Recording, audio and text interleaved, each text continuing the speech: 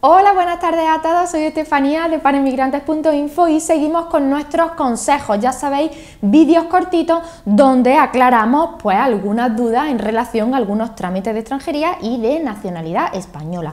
En el vídeo de hoy lo dedicamos a la estancia por estudios, ya sabéis que cualquier ciudadano extranjero extracomunitario que quiera estudiar en España necesita solicitar una autorización de estancia por estudios. El consejo de hoy va destinado al requisito del seguro médico. Es totalmente imprescindible contar con un seguro médico, tener la asistencia sanitaria cubierta, además un seguro médico que no tenga copago, que no tenga carencia y que contemple la repatriación.